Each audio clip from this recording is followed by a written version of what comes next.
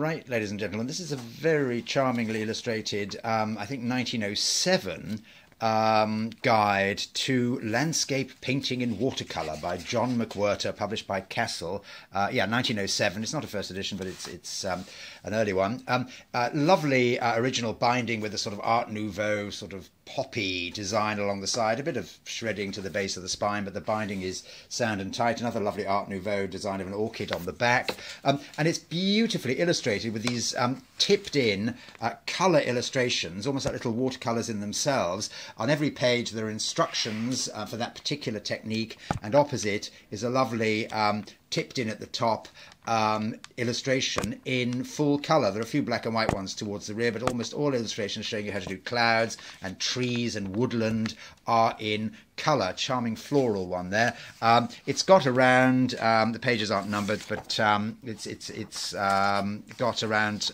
25 uh, illustrations. Uh, yeah, it's got sort of about 70 pages and 25 illustrations, almost all in colour. Lovely, lovely thing. Uh, can't find any copies on the internet at the moment, so I don't know what the good starting price would be. Conditions decent. Um, it's a little sort of cockled where the, the glue has shrunk with sort of damp or dryness over the years, but it's a lovely period item, as I say, particularly with that nice sort of uh, Art Nouveau cover. There we are. Thanks so much indeed. Bye.